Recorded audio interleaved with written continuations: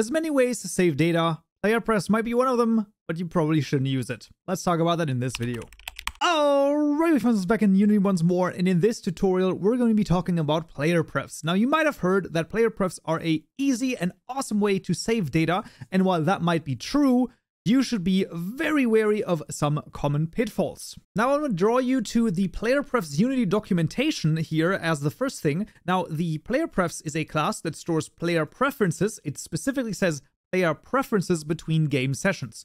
You can of course use this to also save other things. However, it specifically says that Unity stores the player prefs in a local registry without encryption, do not use player prefs data to store sensitive data. Let's not even talk about passwords because passwords have to be stored in a completely different way. But here in this case, Unity prefs really should only be for preferences for players. So for example, resolution or just the general options menu, for example, that can be easily saved in player prefs, but the actual game state, so like how much HP the player has, where the player is, while it can be saved in player prefs, does not mean that it should. So while right now I will show you an example of how you can actually use player prefs, I highly recommend you don't use them for anything related to the game state and only for exactly what they're called for, for the preferences of the player. So for the fictional example that I've come up with right here is maybe your player can choose the speed of the player, right? So there's some sort of options menu somewhere where the player can actually change the speed of the actual player character, and you now want to save that. The question is, why would this be an apt example? Well, if this is ever reset because the data is lost, honestly, that's not going to be too much of an issue, right? Similarly, if there's some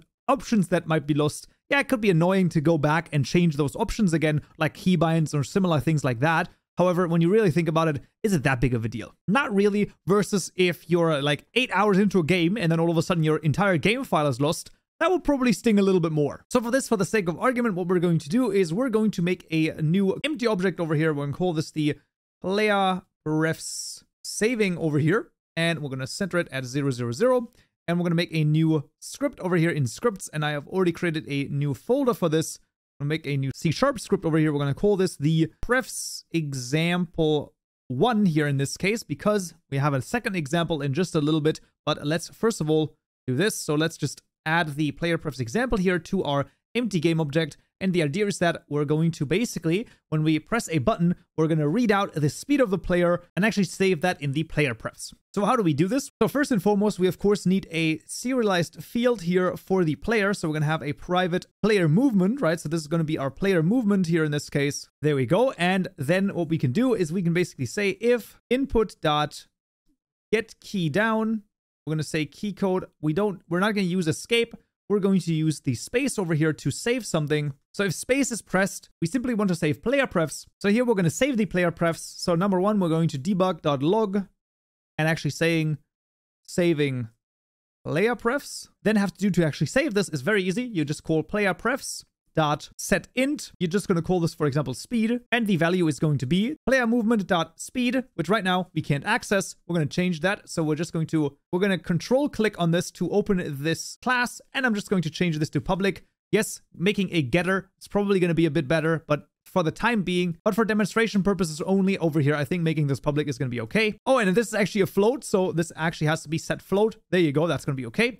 So now we've set a float with the name speed to this value over here that we have saved in the player movement script. For the sake of argument, we of course also have to read this out somehow. So we're going to say if input.get key down, and we're not going to use return, but what we are going to use is, let's say something like L for load, right? I feel like that's fair enough. We then want to set the speed again. So we're going to say player movement speed is equal to player prefs dot get float, and we want to get the float speed over here.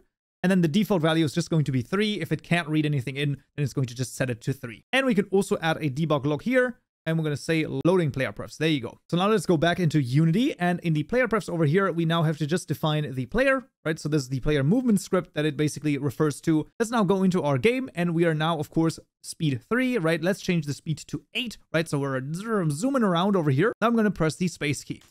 And you can see we have now saved the player prefs if I now go outside of the game, right, I just, I go along my merry day and I come back in the evening, I'm like, oh, I want to replay my favorite game over here. So notice the speed right here. I press L, bam, it gets turned to 8 immediately, and there we go. Because the value has been read in from the player prefs. And the first thing that you're going to probably say is that, well, it works absolutely amazingly. Why wouldn't I want to do this? The issue is that the player prefs are saved in the registry, meaning that you have basically almost no way of sharing your saved data anywhere, number one. Number two, moving PCs basically guarantees that whatever you save in the player prefs is gone forever. And another big restriction is it can only store strings, floats, and integers. And while yes, those make up the majority of data types, any more complicated object has to be broken down into these things, and that is going to be very complicated very quickly. For completion's sake, I have another example that I will link in the description below. That is a Unity package, and you can basically get this in. It's called the Player Prefs Card Scene with code over here,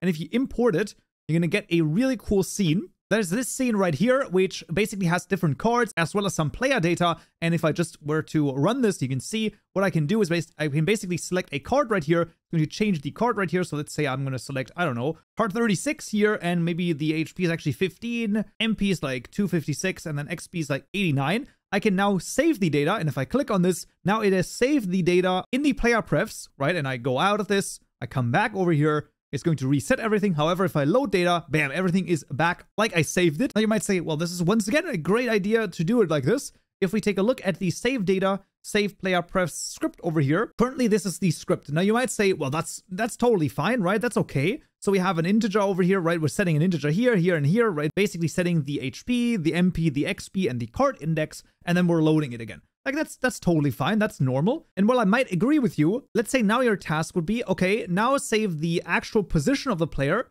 So you now want to save the float of the position X, Y, and Z. So now you got to set four, three integers for that. And then you got to set another three integers for the rotation, another three integers for the scale, because there's no way to just put in a transform and be like, I'll just, you know, convert that transform into a way that we can basically read this. So it's probably better to think about a more future-proof way that we can save data and amazingly enough, there actually is one, and it's called JSON Util, and we're going to talk about it in this video right here. Hope to see you there. So, yeah.